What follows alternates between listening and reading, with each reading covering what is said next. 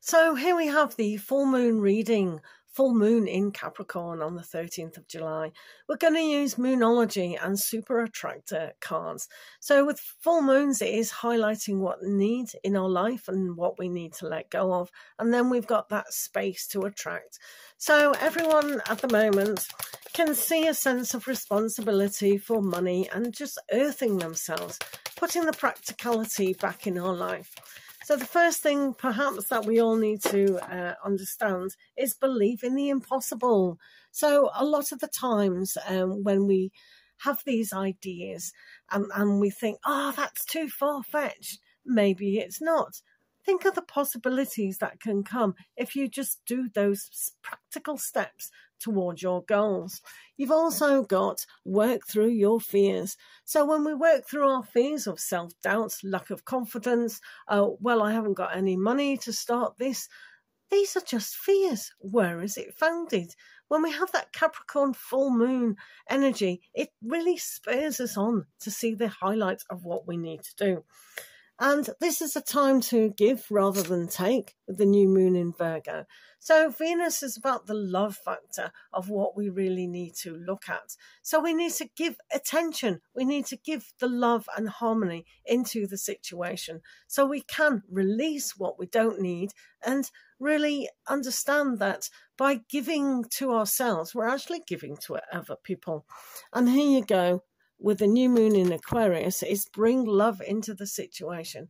Whenever we bring love, unconditional love, it's a simplicity and the flow of life. And you can see Aquarius tipping out the water, nurturing those dreams. So, hey, believe in the impossible. Isn't that going to be great? So, what are you manifesting um, at this time? We use the Moonology manifesting cards, and then we'll have a super attractor. So let's have a look. So first of all, you have that full moon in Sagittarius and see the bigger picture. So hasn't this been a double message for you guys? All of us need to see the bigger picture. So the bigger picture is when we focus and aspire because Sagittarians are always aiming for that um, bigger picture, the expansion with Jupiter, the um, philosophy of things, understanding spiritual things as well. That is a bigger picture. When we bring all that love into the situation, really aspire to that, then that is definitely the flow of life. So you do have the new moon in Leo. So this is a great time to really highlight as the sun the Leo is the height of summer, and all that power, drama, um, yang energy is almost like make hay while the sun shines. And this is a great time to be positive about that goal. What is the very worst that can happen if you stepped out and go, Yes, I want to achieve this?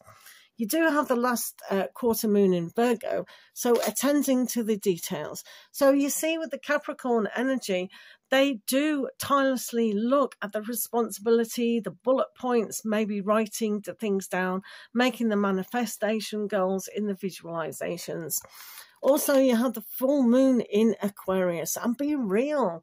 So, this is a great time to be authentic about your situation.